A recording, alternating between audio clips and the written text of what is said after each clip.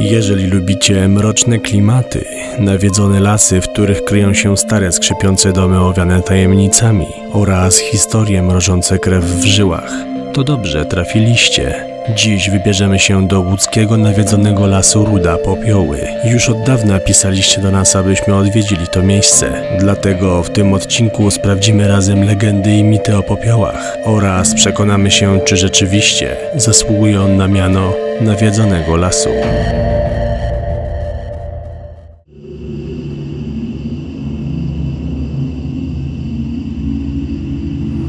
Mroczny las. Około godziny 12. A my znajdujemy się w Rudzie Pawianickiej. W 1946 roku została ona włączona w granice Łodzi. Nazywała się ona wcześniej ulicą Stefana Żeromskiego, ale w związku z tym, że w Łodzi taka ulica już istniała, musieli ją zmienić, a jako, że chcieli jakoś uhonorować, uczcić znakomitego polskiego pisarza, stwierdzili, że nazwą ją od jego jednego z dzieł, a mianowicie, a mianowicie Popiołów. Nie da się ukryć, że Las Popioły jest jednym z najbardziej nawiedzonych miejsc w Polsce, dlatego my przyjechaliśmy tutaj, aby poszerzyć naszą nawiedzoną mapę. Przejdziemy całą tą nawiedzoną trasę. Dodatkowo udamy się w głąb lasu, opowiemy Wam wszystkie legendy związane z tym miejscem oraz sprawdzimy, czy pokrywają się z prawdą. Jest mroczna, mroczna pora, mroczna godzina, ciemna noc. Nie przedłużajmy, chodźmy w las. Plan na dzisiaj jest taki, aby udać się w las, odbić z tej głównej drogi popioły, opowiedzieć Wam różne legendy, rozdzielić się, a na sam koniec podejść do jednej z wielu willi tutaj. Niektóre już z nich są odremontowane, prawie większość. Eee, ale jest jeszcze taka jedna, z którą się wiąże chyba najmroczniejsza historia, a ją zobaczycie na samym końcu. Tu jest to odbicie do lasu? Tak. To co, skręcamy, czy nie? Jeśli jesteśmy gotowi, Ale w ogóle mnie dreszcz przeszedł. Tak? w ogóle ciągle jakby ktoś fajerwerki puszczał dookoła. No. Jest naprawdę przeraźliwa cisza, oprócz tych strzałów. Tych fajerwerek, no. No, ale może tu jakiś poligon jest, czy coś, choć o tej godzinie. Nie, poligonu tu chyba nie ma, ale dobra. Czyli Za, no. Zobaczcie, weź tam przyświeć daleko, gdzie masz mocną latarkę. Tam się robi jak, jak e, duchna droga, co nie? Nawet bym powiedział, że trochę gęstszy jest ten las. No. Zobaczcie. Ci, którzy są z nami od dłuższego czasu pewnie kojarzą nas jeden z takich najmroczniejszych bym powiedział. Może nie do końca, ale rzeczywiście filmów budzących duży dreszcz e, emocji i niepokoju to była właśnie duchna droga, a to wygląda wręcz identycznie. Tylko tak, miejsce identyczne, tylko porównując legendy Dutnej Drogi, a legendy związane z tym miejscem, to mówmy się, ale te legendy tutaj są mroczniejsze, dużo bardziej mroczne. I przede wszystkim wiążą się głównie też z czasem II wojny światowej. I Zgadza z takimi strasznymi wydarzeniami. Chyba na sam koniec, żeby zostawić taką wisienkę na torcie. Tak, będziemy właśnie, dawkować emocje. tak, tej największej, najbardziej znanej willi pana Teodora, ale o tym później. A tu raz, teraz po prostu się zapewne zaraz rozdzielimy i dowiecie się paru ciekawych rzeczy. To też jest ciekawy temat, bo dużo ludzi nam pisało e, o tym lesie, żeby go odwiedzić, ale jak przejeżdżaliśmy wcześniej, to wiedzieliśmy, że rzeczywiście jest dużo odrestaurowanych no, will naprawdę za grube pieniądze i ludzie się nie boją mieszkać w takich miejscach. Tak? Jedna ścieżka, druga ścieżka, trzecia ścieżka. Tu jest trzecia ścieżka jeszcze? No to jest droga w las, ale jakby ścieżka jest, zgadza się. No dobra, ja mogę iść tam. No to ja pójdę tam, ale to co, jak, jak to robimy? Nie wiem, nie mamy Pięć radio. minut i zawracamy? Słucham? 5 minut i zawracamy? Ja bym zrobił to dłużej i posiedział chwilę w ciszy, a podobno jest słychać głosy tych dzieci. Okej. No zaraz się dowiecie, co to za legenda. No dobra, czyli co, 15 minut? Po prostu idźmy. No i nie wiem, Spotkamy poczujemy, się to tu. wracamy.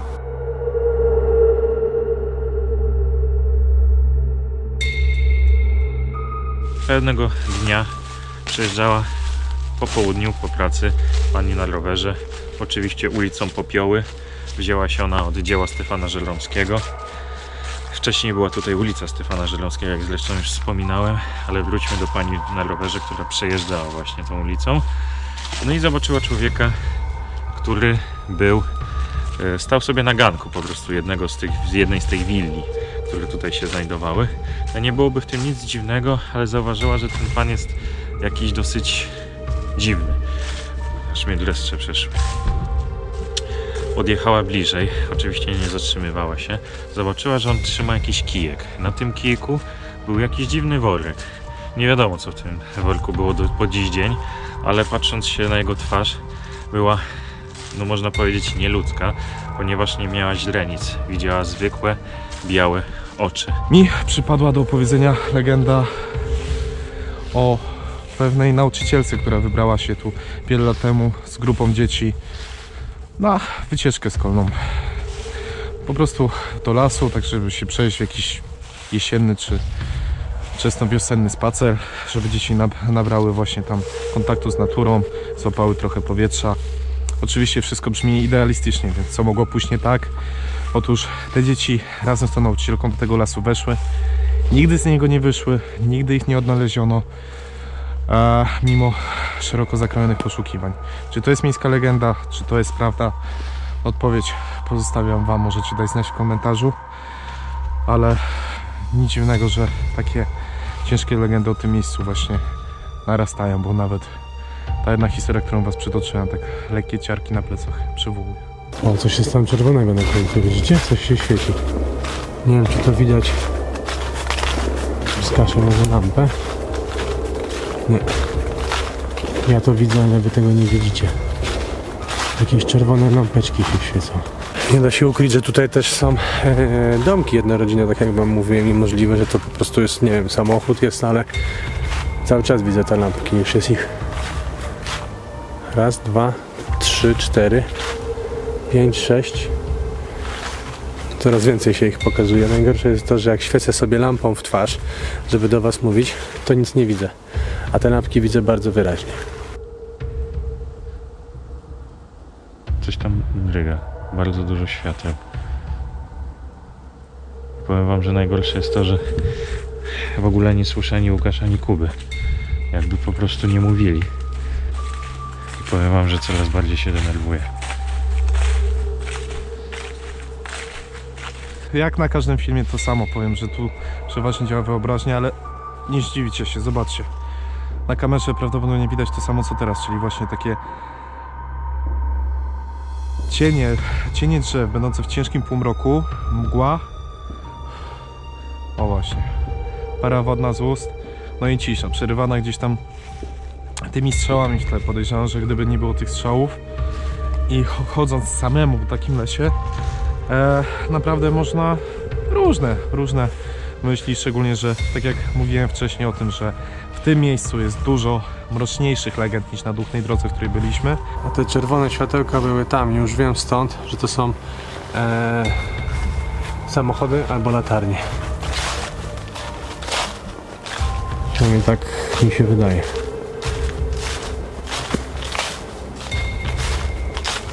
Ej, bez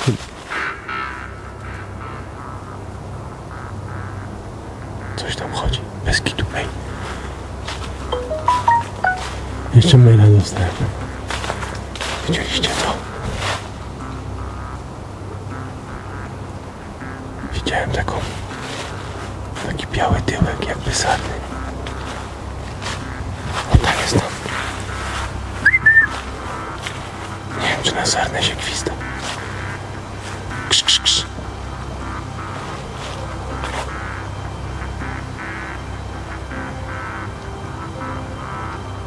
Znikło. Ja mam jeszcze tej baterii w lampie. Trzymam jedną kreskę. Dobra, nie będę tam szedł. To chyba była sarna, ale wycofam się. Widziałem taką białą pupę, wiecie, tak jak mają to sarny, to nie?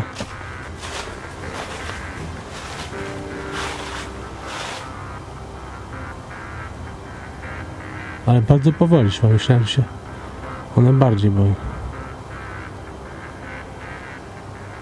Dziwne. W sumie to las. Więc sarny mogą być.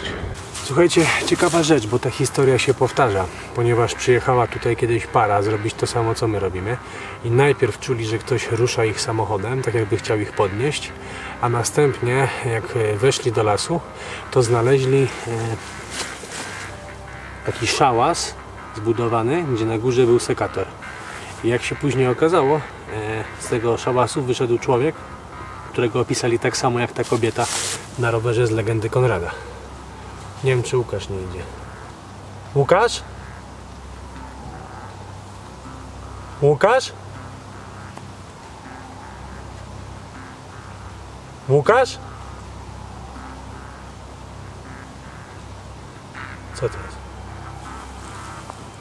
Łukasz? Tak. Mówię, dobrze, że jesteś. Wiesz, jaką miałem akcję? Słyszysz, co ja mówię? Co ci się dzieje? Zgubiłem orientację. Serio? Wiesz co, szedłem ze ścieżki w prawo w las, No, opowiedziałem wszystkie legendy, no. e, nakręciłem, może nie tyle co nakręciłem, opowiedziałem nasze uczucia, co, które czujemy przeważnie w takich nawiedzonych miejscach. No. Byłem pewien, że wracam tą samą drogą, nagle wychodzę, no i jesteś tutaj ty. Serio? No, byłem w 100% pewien, że tą samą drogą wracam. Zakręciłeś się. No. A ja stary wyszedłem tam za zakrętu, tam są takie, widzisz, betonowe No, no, no. zapory, co nie? I tu coś łaziło po lesie i widziałem tak jakby białą pupę sarny, co nie? No, no, no. A powiem ci, ja widziałem twoje światła i byłem też pewien, że to Konrad. I swoją drogą, no, który głasi gdzieś tam A tu go widać, idzie chyba do nas. Go poszukajmy, bo zaraz się okaże, że on też zgubi rachubę, się pogubimy w tym Ty, w ogóle jakaś dziwna akcja. To bym chciał sprawdzić, żebyśmy tam razem poszli. No to złapmy Co to łaziło tam, bo się pogubimy, no. Nie wiem, czy to te światła się poruszają, czy to ja się poruszam. A nie, to chyba ktoś od nich. Na pewno jest to jakiś człowiek. To Ktoś od nas. Dobra, słyszałem GoPro, więc jestem pewniejszy. Idziemy. Tak, to chyba oni. Nawet teraz ich słychać. O, tamte dwa światła. To są oni. Ty? No. Wiesz jaka akcja? No. Łukasz zgubił orientację, Aha. a mi coś w lesie łaziło i bez kitu widziałem, coś, coś chodziło po lesie, co nie? Zobaczyło mnie, poszło w drugą stronę, ale tak bardzo powoli i widziałem taką jakby białą pupę, jak sarna, ale chciałem, żebyśmy to sprawdzili.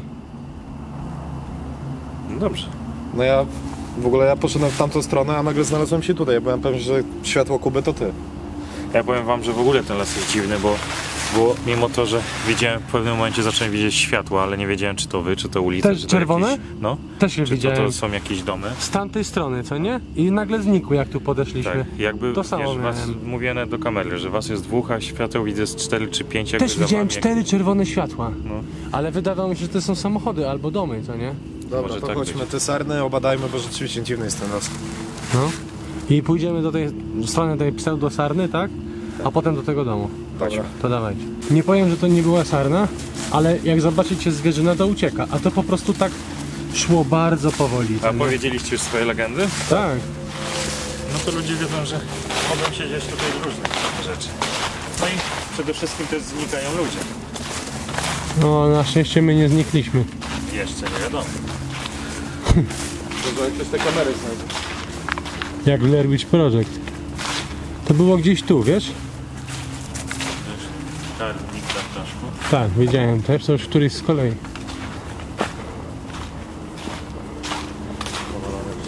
Mniej więcej w tamtą stronę jak będziemy iść, to dojdziemy właśnie do willi Teodora i tam opowiemy tą najbardziej znaną legendę wszystkim. No to idźmy Tą, tam. która jest najbardziej przerażająca i tak naprawdę od niej się, można powiedzieć, wszystko zaczęło.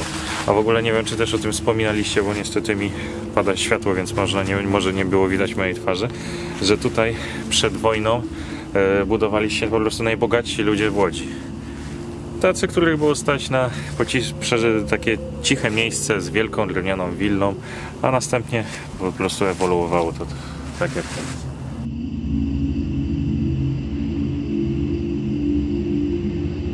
Słuchajcie, to już jest droga. To jest ta słynna kapliczka, a tutaj jest ta słynna willa. Jest Matka Boska, tak? Tak, Też w sumie nie wiesz. żadnych napisów. Ciekawe kiedy powstała w ogóle. Nawet coś takiego. Jest? Wykonanie. Wykonane przez kogo? Aha, nie ma. Nawet y, w takim miejscu Matka Boska z krzyżem potrafi być upiorna, że tak powiem, co? Niestety symbole religii w takich miejscach mają trochę inne znaczenie przez wiele horrorów, które człowiek obejrzał No, wcześniej. dokładnie.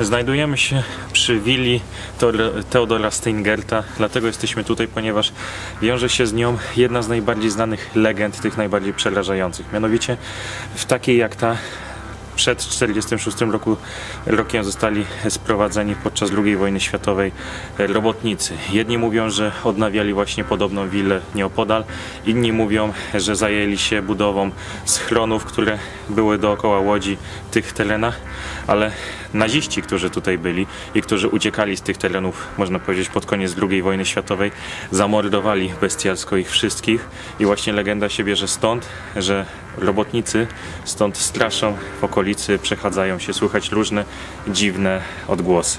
Specjalnie to robię, że na kamerze jest totalna cisza. Boże, na kamerze jest totalna ciemność. W momencie w środku lasu też są pojedyncze rzeczy, nawet oczy tego nie widzą. I wyobraźcie sobie ten pomrok i jakby teraz się pojawiły jakieś oczy, jakiś cień, cokolwiek. I cisza. Nic się nie dzieje zupełnie. Nie dziwię się, że w takich lasach jest tyle legend powstaje. I tutaj kończy się nasza wyprawa po nawiedzonym lesie i drodze popioły. Dodaliśmy kolejne nawiedzone miejsce na naszej mapie, no i zbadaliśmy kolejne mity. Widzieliście jak to wyglądało na dzisiejszym odcinku. Ja czuję, że chyba musimy tu wrócić i poszukać rzeczywiście tej sarny, tego co tam było. Jeżeli Wam się podoba, tu macie playlistę z nawiedzonych miejsc. No i co? Do zobaczenia na następnej wyprawie.